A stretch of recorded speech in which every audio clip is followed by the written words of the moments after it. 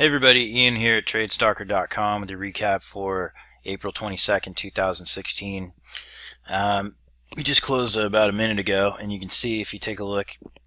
at the price action, it's been a, a range-bound day um, after the breakdown we finally had yesterday. And uh, you can see uh, Mike has these uh, support levels that he lists in green from the previous day, and the resistance levels that I put in red from the previous day from levels that Mike gave the night before.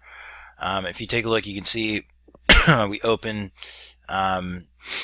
a little bit uh, above, not much of a gap from where we uh, we started, and uh, came up and tagged this initial uh, resistance zone that Mike had from 87.5 to 88.5, and you can see it, the market stalled out there, gave a nice opportunity for an entry, which took you down towards the 81 to 80 half zone, and um,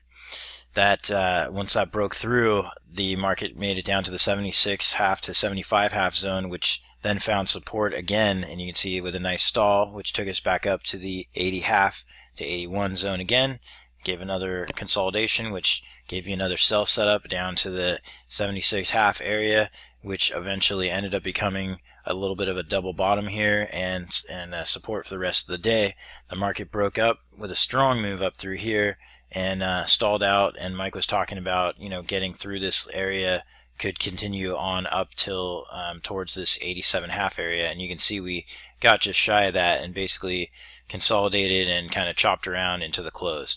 so overall it was a it was a really good day um, as far as the levels were concerned you can see that uh, there were plenty of opportunities for shorts and longs um, and so there's something for everybody um, you have any questions, you can always contact Mike at mike at tradestalker.com and hope you guys have a great weekend.